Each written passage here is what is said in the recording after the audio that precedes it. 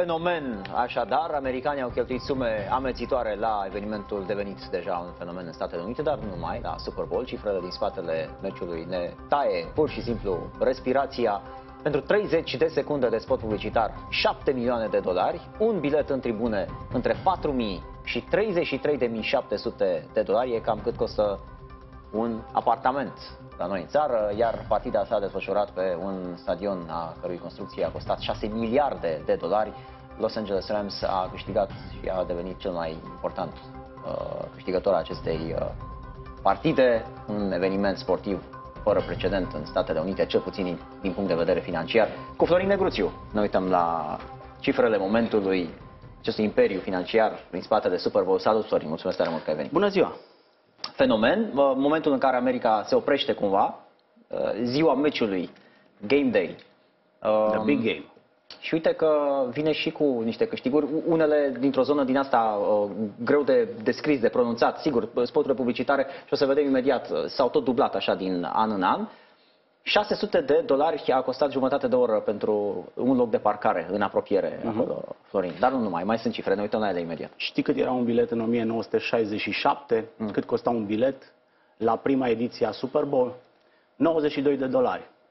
Acum, într-adevăr, tu spui că cel mai ieftin bilet a fost de 4100 de dolari. E o medie dar asta și acolo. Da. la început, că s-au dat toate în câteva minute pe uh, site-urile de reselling, cum este SeatGeek de pildă, uh, prețurile sunt 5.000, 6.000, 10.000, cele mai ieftine, atenție.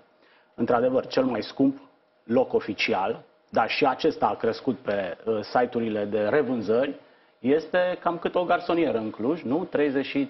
33.000 de dolari.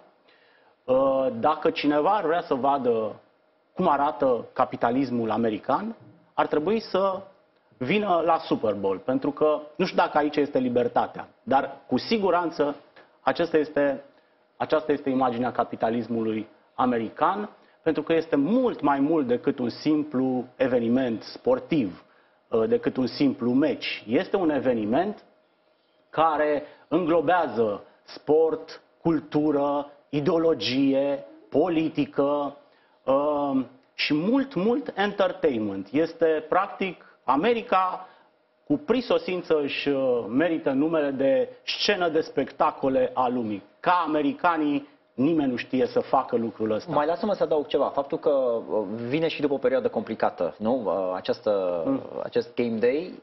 Spun asta pentru că, apropo de prețurile la bilete, atât de puternic a fost și refuzarea asta, cred că multă lume nici nu s-a mai uitat la cât a costat biletul ăsta pentru a participa la un astfel de eveniment, așa cum l-ai descris. O să-i spui ziua eliberării, că ziua tot eliberării. vorbeam ieri da. de ce va urma, cum va arăta lumea după ăștia doi ani de întuneric. Da? Așa arată lumea care vrea să trăiască și cine va miza în continuare pe viață ă, va avea de câștigat, fie financiar, fie politic, fie mediatic, vedem cât au crescut prețurile la publicitatea în timpul uh, acestui spectacol sportiv.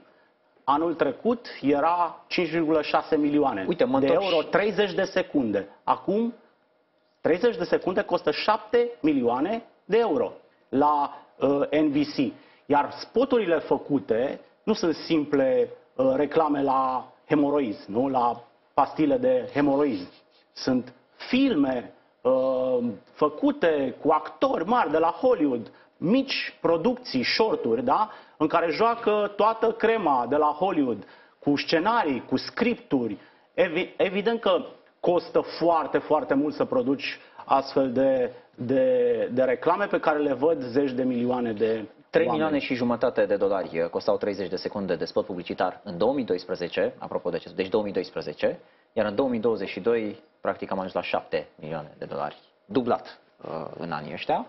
Um, E miza anului în ceea ce privește eliberarea categoric în Statele Unite? Cred că este vorba și despre un trend.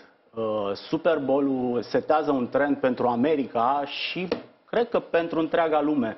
M-am uitat la felul în care au comunicat uh, toți, a comunicat toată industria asta din jurul evenimentului. Este o îmbinare, dacă vrei, de nostalgie, de trecut, pentru că evenimentul se adresează uh, tuturor telespectatorilor, și telespectatorilor bătrâni, și telespectatorilor tineri, și telespectatorilor care stau în statele roșii, și telespectatorilor care stau în, spa- în statele albastre, și republicanilor, și uh, uh, uh, democraților, și conservatorilor, și progresiștilor. Deci a fost o combinație de America retro și America metro, asta care e de pe coaste. Deci o combinație de nostalgie, am văzut-o și în uh, scena de pe stadion, scena aia vintage pe care a gândit-o uh, Dr. Dre cu Eve After Dark, care este un loc uh, iconic în, uh, uh, în regiune, un fost studio de, de dans, uh-huh. un loc de dans, unde a pornit uh, uh, cariera lui Dr. Dre cu toate uh, locurile alea de luat burger, de uh, mâncat uh, uh, restaurante și așa mai departe, foarte vintage, da, mizând pe nostalgie, dar am văzut și cum arată viitorul. Și asta se vede în special în reclamele care s-au difuzat în pauză. Practic, uh, toate sau majoritatea reclamelor îți uh, uh, creionează cumva lumea de peste 10-20 de ani. Sunt reclame, este o reclamă minunată la o marcă de mașini în care apare Arnold Schwarzenegger uh, înconjurat de fulgere, da, el e Zeus, anunțând viitorul electric al uh, industriei auto.